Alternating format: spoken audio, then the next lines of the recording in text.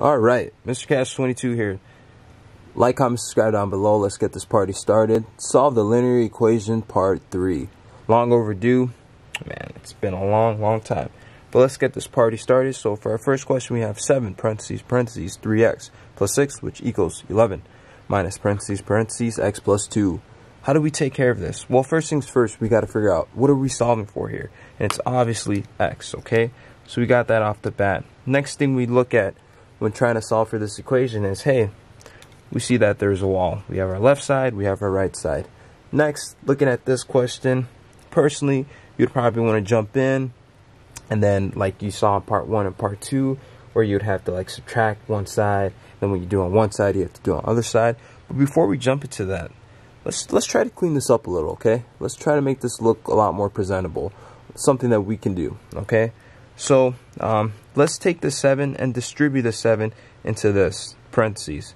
Let's take this negative and distribute this negative into this parentheses as well. Okay, we're just trying to make this clean, make this a lot better. So we'll do 7 distributing to this. So when you do the math, you get 7 times 3x, you get 21x, okay? Then when you take the 7, you do the same thing with the 6. What do you get? You get a positive 42, okay, on one side of the wall. And then from there, you would also continue on. So you put the equal sign, okay? And then with this 11, well, this 11 basically gets dropped down. Then you take this negative, distribute there, distribute there. So you get negative x, then you get this negative 2, okay? So now that we have that situated, everything was pretty much tip-top shape. Now, what we would pursue and, you know, continue on doing is, like I said, let's try to clean this up as much as possible before we do anything too crazy. But in regards to that, and with this type of situation that we have presented in front of us, we can look at one side of the wall, the left or the right. So the right, we can see we have 11 minus x minus 2. Okay? So before we continue on, personally, I would like to basically simplify this a lot more on this right side of the wall because we have this 11 and then we have this negative 2 right here. Okay, so positive 11 and then we have this negative 2 right here. Me personally, I would simplify that and drop this, um, basically mirror this, drop this equal sign, 11 minus the 2, get 9 minus the x, okay? And then on the other side, you have your 21x plus 42. Then just pretty much like before, what you do on one side of the wall, you have to do on the other side of the wall, okay? In my personal opinion, because we have 2 right here, we have um, basically this number with this variable plus another number, and then on this other side of the wall, we have a number by itself, and then we have a number plus minus the variable. Because like in the other terms, or in other words, there's a negative one right there. It's imaginary. So, um, like I said, what you do on one side of the wall, you have to do on the other. So personally, uh, let's take care of this side, in my opinion, right, and bring it to the left. Or you can do left, bring it to the right, whatever you're most comfortable with. So I'll take this 9, subtract that since it's positive 9, and this negative x, I'll make this positive x, and I'll bring this over. So you have 21x plus x plus 42 minus 9. Okay? So now that you have this written down, and then you would proceed on by basically adding your like terms. And don't forget, this is equal to 0. Don't forget that. That's extremely important. You'll get doc points, I promise you. So we'll add the like terms with the x's and the x right there.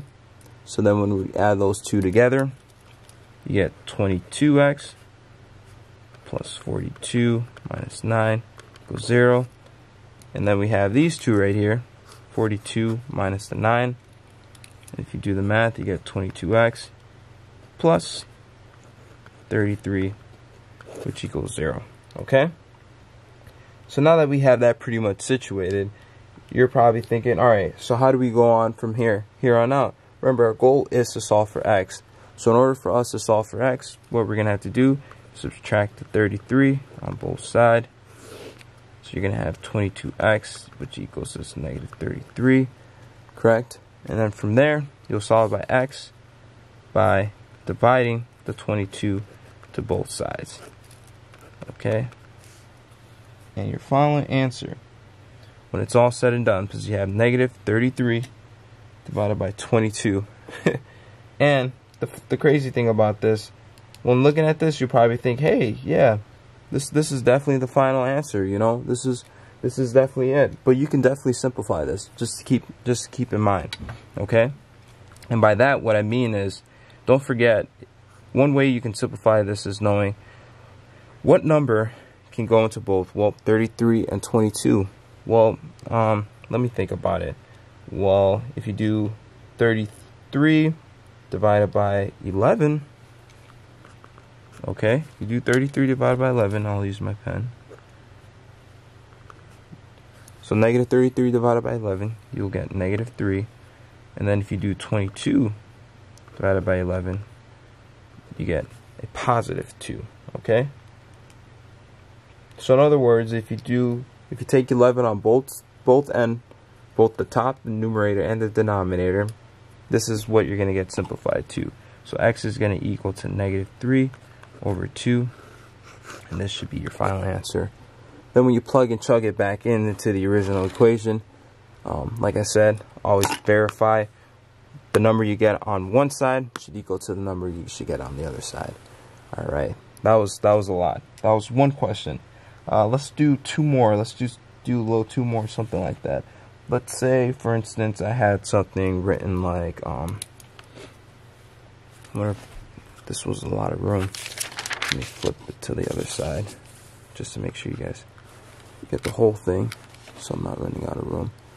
Alright, so let's say for question two, you had something written like, um,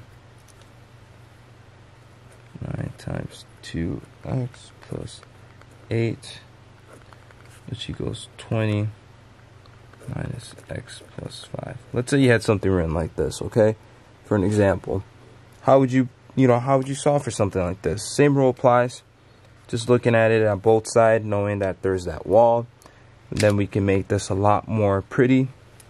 So what we'll do is distribute that 9 there, the 9 here.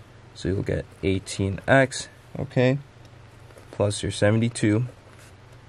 And then on the other side of the wall, we have a negative. So distribute that there, distribute that there. So drop the 20, get your negative x minus your 5, okay? And then trying to, you know, proceed on from this, what you would also have to do is look, you have 2 right here, 1, 2, and you have 3 numbers, I mean, excuse me, you have 3 right here, 1, 2, 3, okay?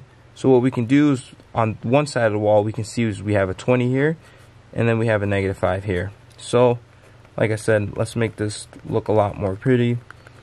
All we would have to do is just basically take this 20 and then subtract it by that 5. And then if you do 20 minus 5, you get 15. So you get 15 minus x, okay? So then from there, how you would proceed on with this is you basically draw your line and then you'll look all right there's a 15 here there's a 72 here and there's a negative x here and there's a 18x okay so our goal is to solve for x so then from there personally what I'll do is I'll solve for this side of the wall the right side so you'll do the opposite you have a positive and then you turn, turn this to a negative and then you have a negative and you'll turn this into a positive and then you'll bring it on to the left side so you'll get 18x plus the x plus the 72 minus the 15, which equals to 0. Okay? So then from there on, there on out, what you would have to do is continue. But like I said, you would want to simplify this even more. So you have 18x plus your x, also 1x, which will give you 19x. Okay? And then you have your 72 minus your 15, okay? So then this is also another like term that you would have. And you can, you know, handwrite this, do the math mentally, calculator. But personally, I would recommend it doing um, handwritten or mentally. And if you solve the two, you should basically get positive 57. Okay? Positive 57. So, now that you have that written down, And like I said, it's always good to always double check your math because you want to make sure that you're doing correctly. Because if you get so far out and you mess up, then it's game over. Not necessarily, but you know, you just got to pretty much got to retrace your steps again. And you also got to bring down this zero, okay? So, once we have this situation, you know, pretty much almost figure out our goal is to solve for x. So then from here on out, we subtract the 57 on both sides. 19x equals negative 57. Divide the 19 on both sides. Get x equals. And, like I said, your best bet is, um, some of you guys obviously might know this off the top of your head. A lot of you guys don't. This The answer is actually negative 3. Um, because 19 does go into 57 three times perfectly fine. So if you can take out your calculator, just do 19 times 3, and you'll see that it is 57. But since 57 is a negative number, our answer, when we divide these two, should be negative as well. So this right here is your final answer. Like I said, plug and chug back into the original question, and what you get on one side of the wall should be correct on the other side. All right, flying through this. Whoops, this is our third question and our last and final one of the day. Um, same rule applies. Let me um, add a little more funk to it. Let's say we had something written like this.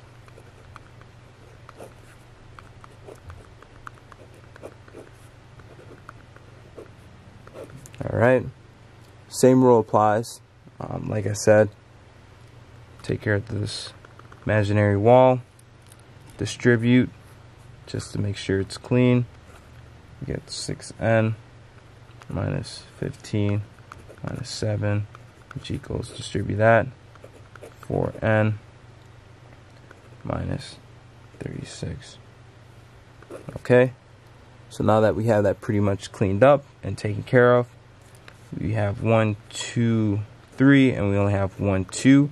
So it looks like on this side we have to clean up a little more because we want two, two or is three, three on you know on the left and right side of the wall. So try to try to make it even, okay? So we'll take care of this right here. We have this 15 minus this 7 right there. So then this will give us a 6n minus a 22, which equals 4n minus 36. And then from there on forth, we'll break this wall down a little. We'll subtract this 4n and we'll add this 36 and we'll basically bring it to this side, the left side of the wall. So then what we will get from there, I'll bring this down a little bit, is the 6n minus the 4n minus the 22 plus the 36, which equals the 0. Okay, then we'll add the like terms. Okay, so then you get 6n minus 4n, you get 2n, and you get these two as well right here. So you get negative 22 plus the 36, you get 14 when you add those two, which equals to 0. Okay, so then from there on out, we're solving for n. You subtract the 14 on both sides, you get 2n minus 14 then you'll divide the 2 on both sides.